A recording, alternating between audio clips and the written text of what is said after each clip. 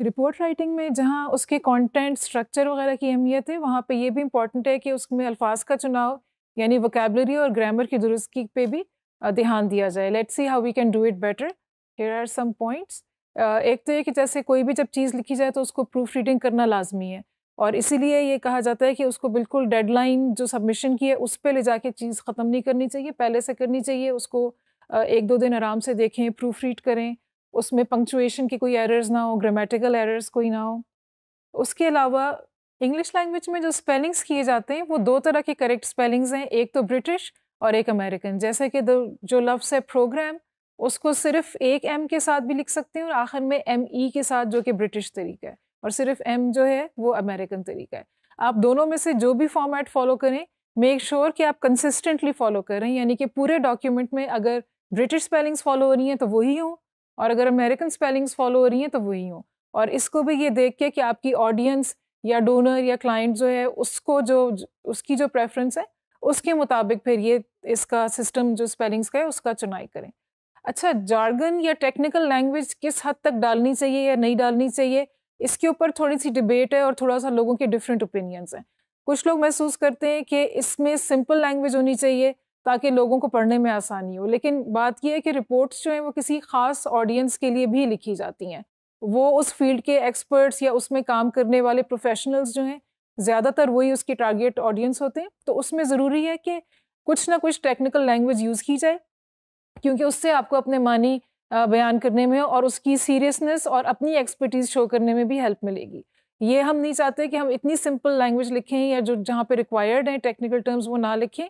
इसलिए कि ऑडियंस को आसानी हो और एंड पे ये हो कि ऑडियंस को लगे कि हमारी एक्सपर्टीज़ में कोई कमी है। तो इसलिए कुछ ना कुछ टेक्निकल लैंग्वेज जो उसकी रिक्वायरमेंट है उस फ़ील्ड की that should be there it shouldn't be too casual और टू इनफॉर्मल और सिंपल इस तरह से कॉन्वर्सेशनल स्टाइल से नहीं होनी चाहिए।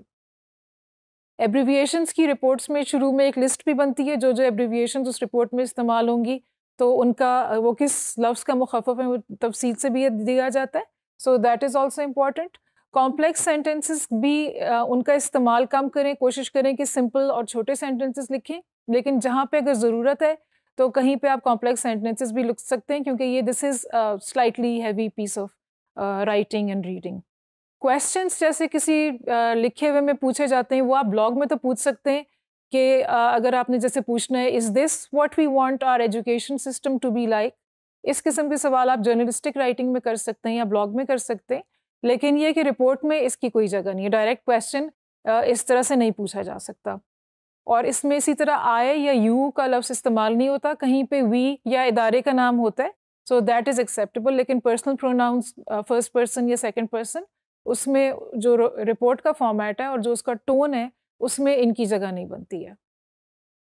अच्छा कुछ वोकेबलरी जो रिपोर्ट का जो स्ट्रक्चर है उसके हिसाब से कुछ हमने वोकेबलरी आपके लिए यहाँ पे रखी है कि आप इसको देख लें और ये हम मानी अल्फाज की कुछ लिस्ट हैं ताकि सेम लफ्ज़ बार बार कहने की बजाय आपके पास ऑप्शन हो कि ये डिफरेंट अल्फाज आप यूज़ कर सकते हैं। दोबारा दोबारा अगर आपने वही मतलब बयान करना है। तो जैसे आपने लिखना है, शुरू में the objective of this report is to examine आपने एक दफ़ा लिखा, उसके बाद आप लिख सकते हैं द ऑब्जेक्टिव या aim is to consider or to investigate or to calculate or to summarise the findings or the research or the activities या जो भी कुछ। So these are some words with similar meanings which you can use interchangeably or almost interchangeably इसके अलावा are calculations show that अगर आपने कोई research study है uh, उसकी आपने रिपोर्ट बनानी है तो आप फिर ये बता सकते हैं कि our calculation show that we can उसमें ये आप कह सकते हैं we can see from the graph examining the data we can see our finding suggest so ये सेम बात कहने के दो तीन डिफरेंट फ्रेजेज हैं जो कि इंटरचेंजेबली यूज़ हो सकती हैं। According to our findings initial workings calculations analysis ये भी एक ऑप्शन है और उसके अलावा एज अ रिज़ल्ट के बजाय आप कह सकते हैं as a consequence consequently due to यानी इस वजह से, और सिंस और डिस्पाइट तो ये कुछ ऑप्शंस हैं जिनको कि आप यूज़ करके और इस तरह की और भी चीज़ें आप अगर रिपोर्ट्स आपने लिखनी है तो और रिपोर्ट्स पढ़ें और देखें कि आप अपनी रिपोर्ट को कैसे प्रोफेशनल और स्ट्रक्चर अच्छी तरह कर सकते हैं और उसमें वोकेबलरी और ग्रामर किस तरह से डिफरेंट है नोटिस करें कि दूसरी जो लिखा जाता है, जो आप ऑनलाइन पढ़ते हैं सोशल मीडिया ब्लॉग्स वगैरह पे how is it different and how you can adopt that style also for similar assignments.